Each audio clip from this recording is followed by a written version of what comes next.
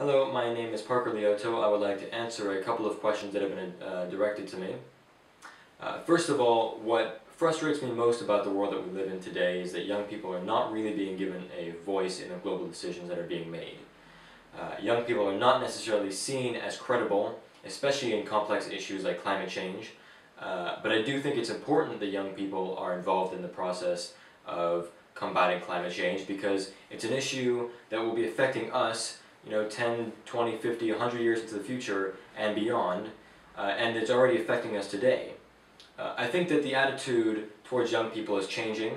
uh, definitely especially through the one young world platform and uh, through acts of leadership by young people around the world uh, like the egyptian revolution. Uh, but i do think it's very important that young people have a voice in the global decisions that are being made. And what I'm going to do to try to uh, change this,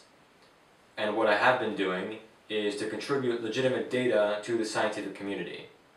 Uh, through my Arctic expeditions, I would like to contribute uh, climate change uh, data, do scientific work on my expeditions for the University of Alberta and the European Space Agency, uh, as I did this year on my North Pole expedition and as I intend to do next year on my North Magnetic Pole expedition and hopefully this data will be incorporated into a longer term data set that is used for uh, things like policy and business decisions. Um, and I think if we can get to the point where governments and businesses are relying upon information that young people are providing uh, to make the decisions that not only determine whether young people have a prosperous future, but also determines how profitable their business will be or how uh, healthy and how secure their country will be,